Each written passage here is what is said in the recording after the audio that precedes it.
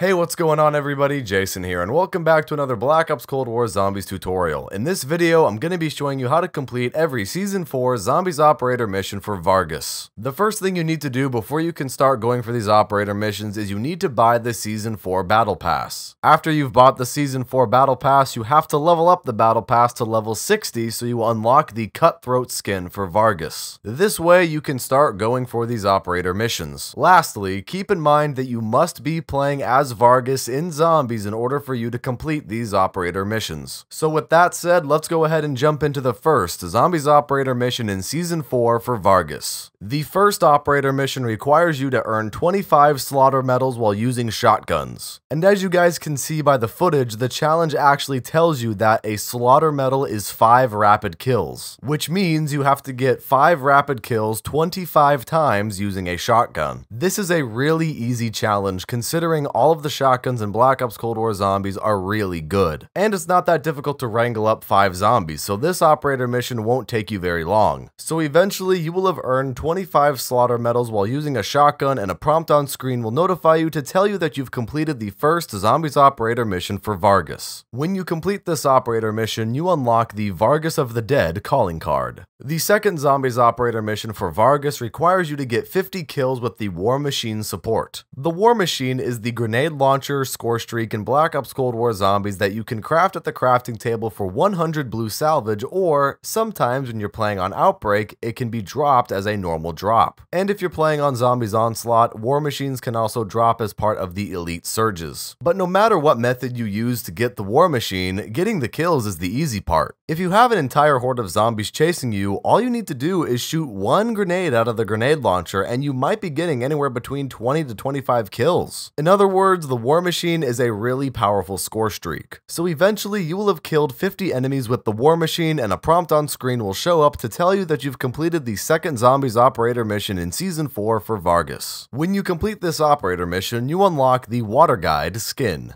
The third Zombies Operator mission requires you to destroy an enemy's armor with an explosion caused by the Shatter Blast ammo mod 25 times. There are a lot of moving parts in this challenge, so let me break it down for you. Let's start at the beginning. Destroy an enemy's armor. Basically, there are armored zombies in every game mode of Black Ops Cold War Zombies except for Zombies Onslaught. Even some of the special enemies such as the Krasny Soldat and the Mangler have armor. So now we know we have to destroy those enemies' armor. Next, we have to destroy that armor with an explosion caused by the Shatter Blast ammo mod. Shatter Blast is one of the five elemental abilities that you can add to your weapon in Black Ops Cold War Zombies. The ability that Shatter Blast has is that when activated, it causes multiple explosions that damage nearby enemies and it does extra damage to armor, which is perfect because we have to destroy enemies' armor with Shatter Blast. So once you've purchased Shatter Blast and it's on your weapon, now you have to go looking for some armored zombies to destroy their armor with an explosion caused by that ammo mod. When you have an armored zombie in your horde and Shatter Blast activates, you'll know you've made progress when you see the destroyed armor message in the kill feed in the middle of your screen. When you're playing zombies for a long period of time, no matter what game mode you're playing, the armored enemies are going to be coming much later in the game. So you might have to be a little bit patient and wait for some armored zombies to spawn in on some higher rounds. So eventually you will have destroyed enemies' armor with Shatter Blast 25 times, and a prompt on screen will notify you to let you know that you've completed the third Zombies Operator mission for Vargas. When you complete this operator mission, you unlock the Direct Exposure emblem. The fourth and final Zombies Operator mission requires you to eliminate 50 enemies slowed by your Frenzied Guard field upgrade. Frenzied Guard is a multifaceted field upgrade in Black Ops Cold War Zombies. For example, it gives you temporary invulnerability while you have armor equipped and it does a couple of other things, but for right now, all we care about for this operator mission is the slowing effect. And of course, just like the other field upgrades in Black Ops Cold War Zombies, you can charge up your Frenzied Guard by killing enemies or picking up the full power power up from Onslaught or Outbreak. I would recommend trying to hoard up as many zombies as possible so you can kill every zombie in that horde when you use your Frenzied Guard and all of the zombies in your horde will be slowed down. This way, you can maximize the amount of slowed down zombie kills. So eventually, you will have killed 50 zombies slowed down by your Frenzied Guard field upgrade and a prompt on screen will notify you to let you know that you've completed the fourth and final Zombies Operator mission in Season 4 for Vargas. Upon completing this operator mission, you unlock the Jungle Cover skin.